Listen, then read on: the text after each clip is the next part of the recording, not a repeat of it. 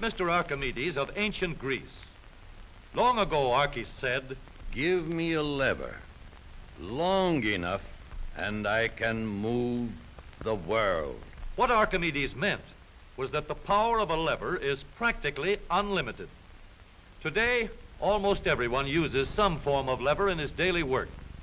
The familiar can opener is a lever with a sharp cutting edge. The playground seesaw is just a simple lever, too. It takes a lot of force to start a freight car moving, yet the railroad man can start the heaviest freight cars easily with a pinch bar, a powerful lever which turns the wheel. Tough luck, old boy. Here's a place where a lever comes in mighty handy.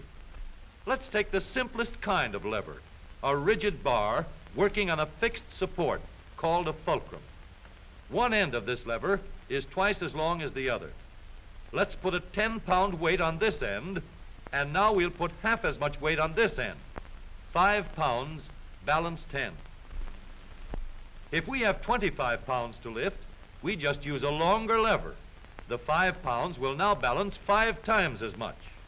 Let's raise the lever in the air, change its shape a little, and we have a crank. Or we can add a second lever and have a double crank. Now the short arm moves one-fourth the distance, but we get four times the force. If we want continuous motion, we need more arms. Now we have levers that turn. The larger paddle wheel makes fewer turns, but it delivers more force. A paddle wheel is nothing but a never-ending series of levers. We can make the wheels stronger and lessen friction where the wheels touch each other by rounding off the edges and shaping them into teeth that will slide in and out smoothly. Now, the power flows smoothly and continuously through spinning leverage of gear wheels. Gears are made in many kinds and many sizes. Little gears, big gears, worm gears, bevel gears, and even lopsided gears. Over a hundred million gears are spinning over the roads in the transmissions of our automobiles. The transmission is located right at the bottom of the gear shift lever. Let's start from scratch and put together a model of the gears that we shift in our motor car. The shaft on the left comes from the engine. The shaft on the right carries the power back to the rear wheels. To connect these two with gears, we'll need another shaft, known as a counter shaft. These two gears carry the power from the engine shaft to the counter shaft and are always connected or in mesh. This gear on the drive shaft going to the wheels is free to turn around the shaft. We'll put it in mesh with another gear on the counter shaft. These gears are always in mesh. And keep turning while the engine is running. To switch from one set of gears to another, our transmission needs a short shaft like this, known as a clutch sleeve.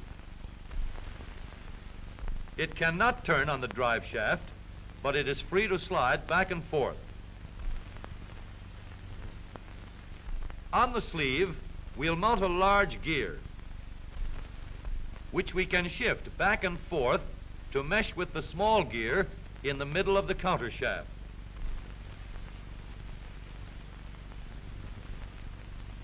We are now in neutral.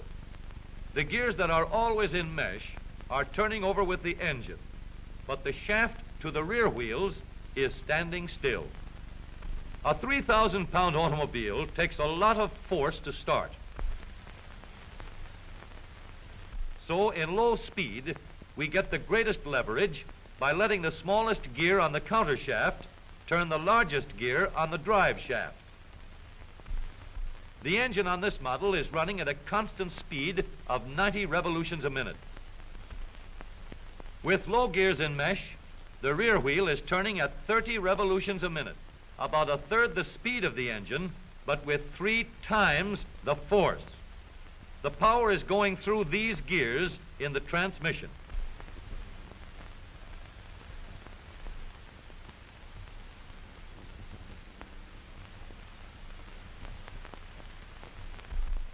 After we've started the car rolling, we want fast pickup.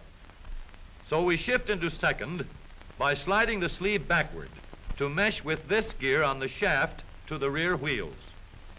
The wheel is now turning at 60 revolutions a minute, and the power flows through these gears.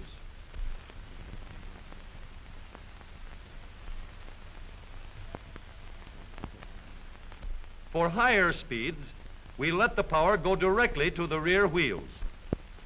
We shift the sleeve forward so that it meshes with the shaft from the engine. The power travels straight from the engine to the drive shaft. Now the shaft to the wheels is turning at 90 revolutions a minute, the same speed as the engine. But here's a problem. An automobile must be able to go backward as well as forward.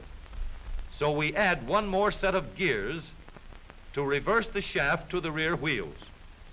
With the gears shifted into reverse, the power travels through the transmission in a path like this. We now have three sets of spinning levers for going forward and one for reverse. With a gear shift lever, we can shift to any set of gears we wish. But with all these spinning levers in the transmission came noise and wear. Experts could shift gears quietly by careful timing of the gear shift and the engine speeds, but most of us made plenty of noise until new engineering developments made possible the long series of improvements that followed. When we shifted gears, we got a clash because the gears were not running at the same speed. In other words, not synchronized. So engineers set to work to develop a synchronizer. The synchronizer works like a cork twisted into the top of a bottle. The cork will turn until it is so tight that the bottle turns with it. Synchro mesh works the same way. When we shift into second or high, the synchronizer brings the gears to the same speed before they come together. The drums won't let the gears shift unless they are turning at the same speed. When the gears come together, there is no clash, and the shift is made quietly and easily. In the transmission of the up-to-date automobile, we have a powerful low gear to give us a strong spinning leverage in starting. A fast-turning motor must set the weight of the car in motion. In second speed, we can change leverage to get going fast at the same engine speed. With the leverage of third gear, Power goes directly to the rear wheels, and we can go as fast as we want. Now, every driver can shift gears at any time, regardless of speed. Here is a hill that will give us a real chance to see how smoothly and reliably our spinning levers work in our automobile transmission. This driver is going to let her car gain a speed of 60 miles an hour down the hill.